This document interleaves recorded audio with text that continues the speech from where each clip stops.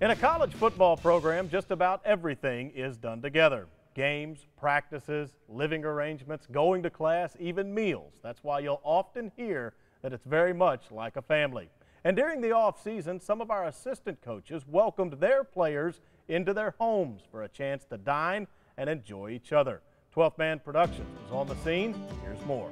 It all started at wide receivers coach David Beaty's home in late July. The pool certainly was the main attraction at his place.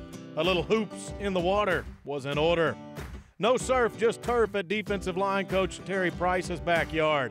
He grilled up some steaks and even had ribs as appetizers. The D line needs a bit more. This gathering came just before August camp started and only a day after this group lost their friend and teammate, Polo Manukainiu. I think it's a great time to come together because you celebrate the beginning of the season, but also you know, work our thoughts towards Polo and his family. The coach has been putting steaks on the grill for years, and you can only become this good with experience. It's ingrained in him by now, and there's not a lot he can pass on to others when it comes to creating the perfect piece of meat, but Price divulged just a little bit. Well, it starts with a good marinade. You got to get them marinated and let them get back to room temperature. Flavor, flavor them up with a good marinade, then uh, find a good seasoning, pack it in pretty thick so the marinade and the uh, seasonings mix and then get your fire to a really hot temperature where you can sear the edges of the steak, both sides, and then obviously just through time, and I've done this for a long, long time, you can tell when they're done.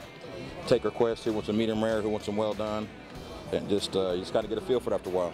He is not shy about stating how good his fare is. The best steak restaurant in the, in the Brazos Valley is right here in my backyard.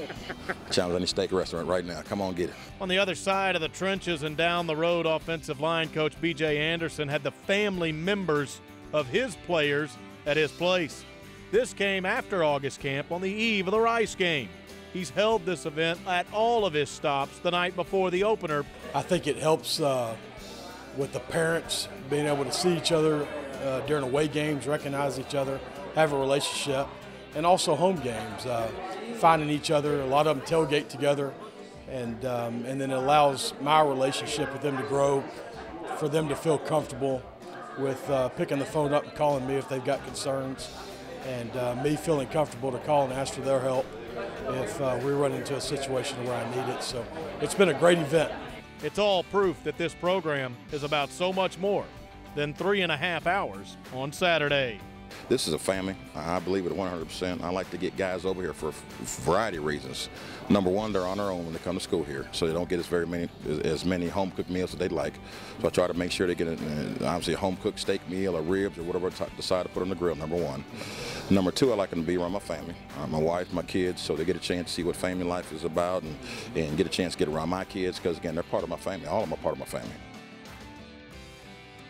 A good time and not a bad menu at all at Terry Price's house.